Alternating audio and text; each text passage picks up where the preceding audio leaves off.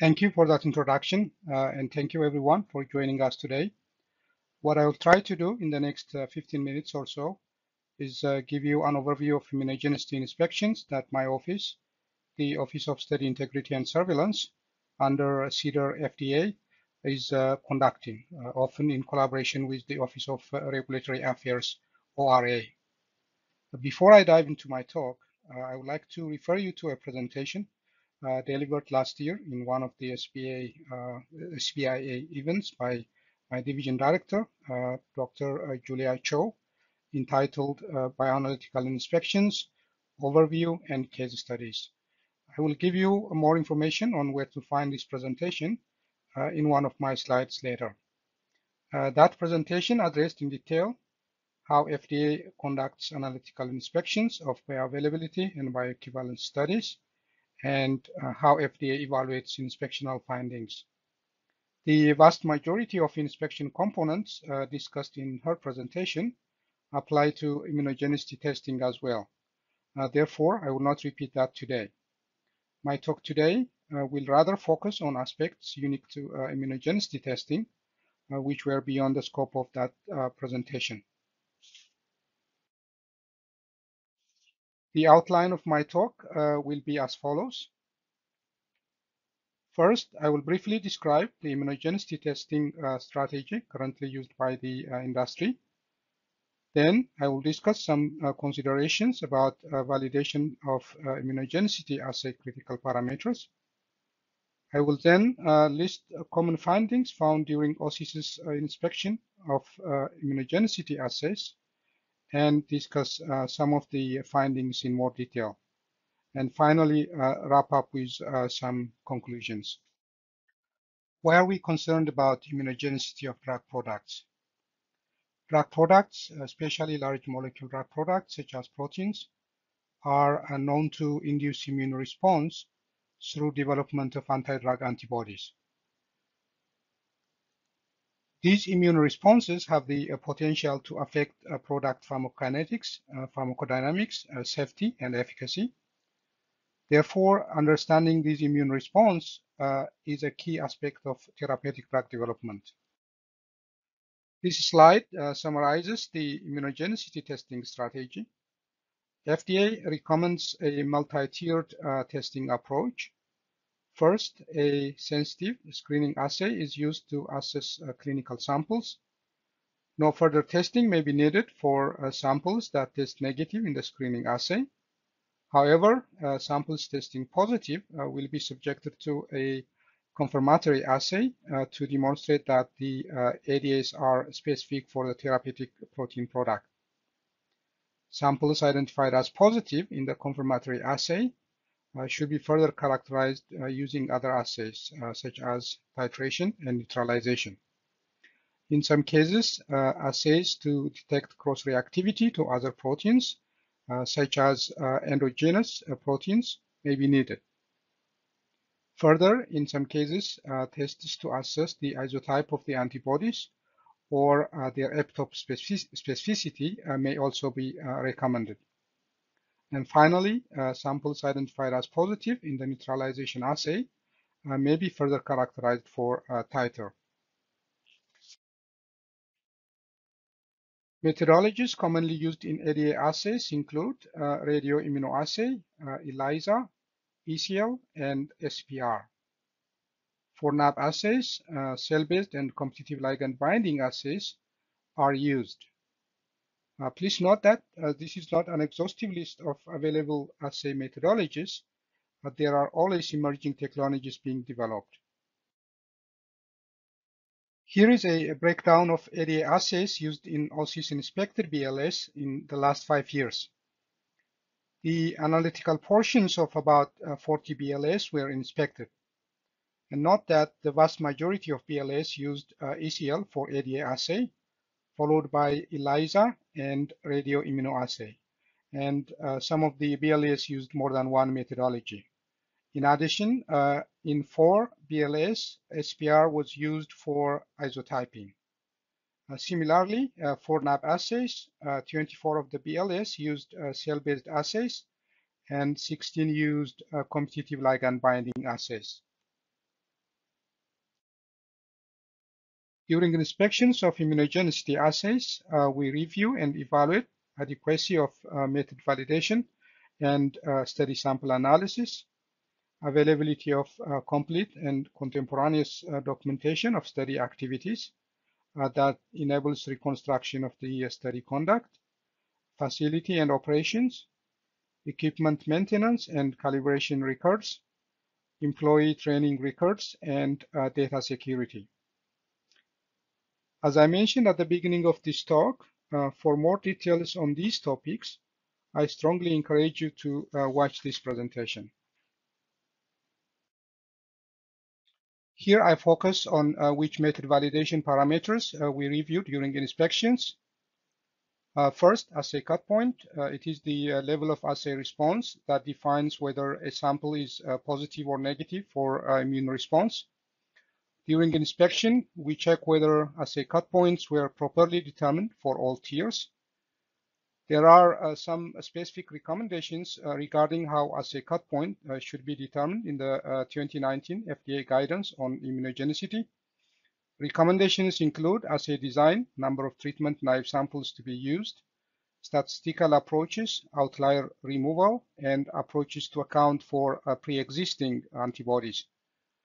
We also confirm uh, whether the sensitivity of the assay was determined, uh, since assay sensitivity can be affected by onboard drug. We also confirm whether the firm determined assay sensitivity uh, in the presence of the expected concentration of onboard drug, uh, which is also known as assay drug tolerance.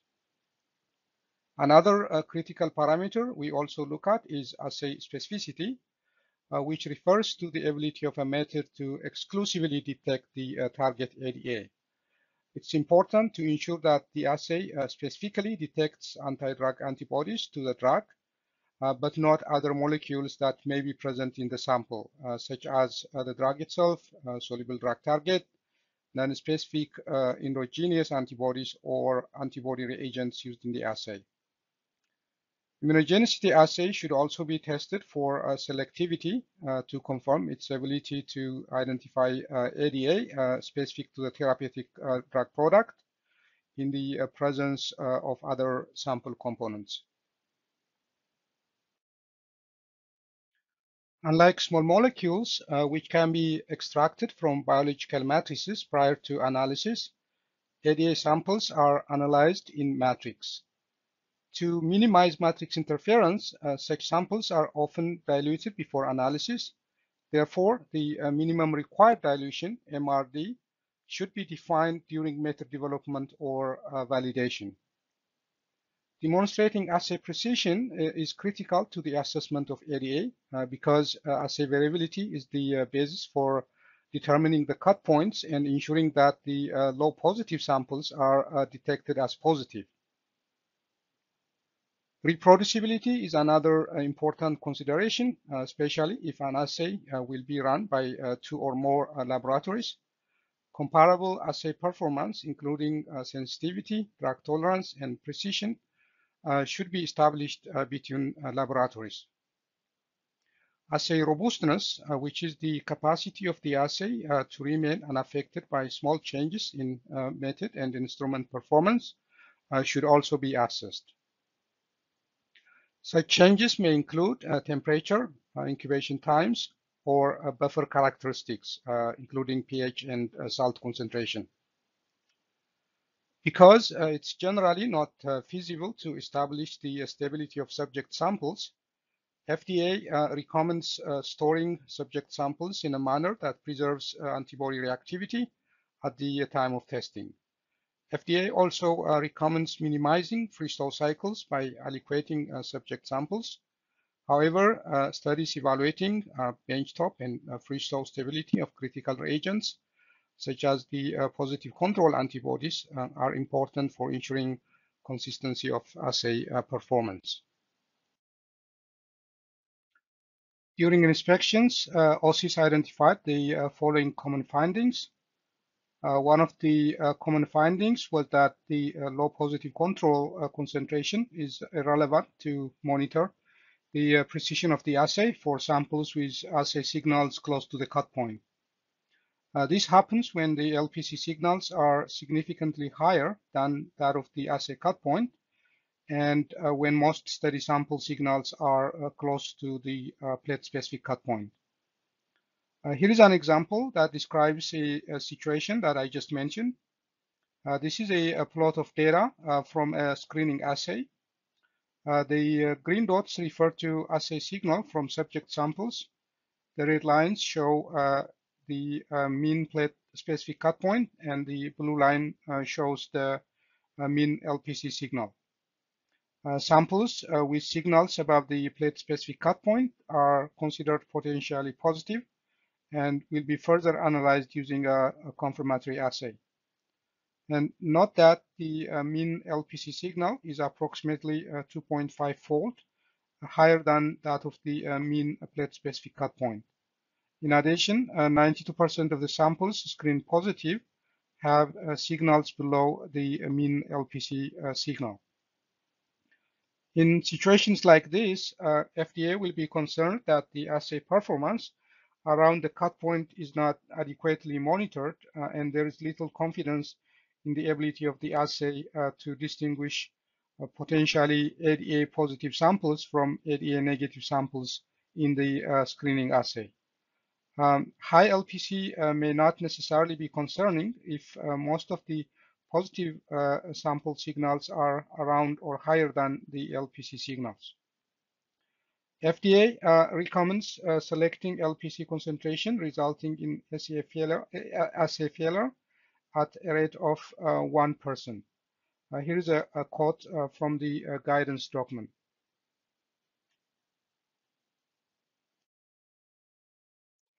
The second finding we identified was that uh, not all validation parameters were assessed during assay validation. Especially uh, for a confirmatory assay, uh, parameters such as precision, specificity, and selectivity uh, were not assessed. And FDA uh, recommends that uh, confirmatory assays should be fully validated in a manner similar to the screening and neutralization assays. Other parameters uh, such as drug tolerance and selectivity in uh, hemolyzed plasma uh, were not assessed in all tiers. Third, uh, freeze-thaw and benchtop stability assessments of the uh, positive control were either not done or were inadequate. Uh, for example, some of the inadequacies include the number of freeze-thaw cycles exceeded the established freeze-thaw cycles in method validation, uh, no fresh comparator was used uh, during stability assessment, or uh, stability was assessed at the high uh, positive control concentration only. Another finding uh, we often encounter uh, was that assay cut point determination is inadequate. Examples of this include use of arbitrary cut point, not using scientifically sound outlier removal methodology, uh, example, removal by visual inspection, and uh, not confirming cut point in target population. On this last point, uh, FDA recommends confirming whether the cut point determined during assay validation is suitable for the population being studied. Uh, next, uh, lack of uh, contemporaneous documentation, such as sample movement, uh, sample processing procedures, uh, rationale for repeating assays, and experimental errors were observed. We also found uh, data exclusion without justification, such as uh, duplicate values or uh, precision data uh, in method validation. And finally, use of expired reagents was also noted. In conclusion, uh, I would like to mention that immunogenicity assessment uh, should be uh, designed to detect ADA that could mediate unwanted clinical consequences. And uh, OSIS conducts uh, inspections to ensure immunogenicity data submitted to FDA are accurate and reliable. Here is a uh, challenge question for you. please take a moment and consider which answer you think is correct.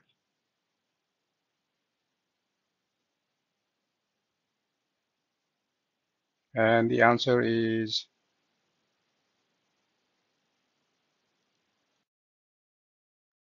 Second question.